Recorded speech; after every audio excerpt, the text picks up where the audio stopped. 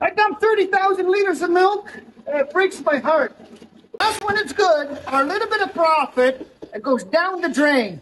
How do you guys dare to put this product on the market for $7 a liter and think that that's okay when there's a lot of mothers, single mothers, or the sick kids hospital it could go to. It could go anywhere, to the food banks. Hey, that farmer for 90 cents and they're paying $7, where does the extra money go? And they capped us. So I can't grow my business at all. What am I going to tell my four kids?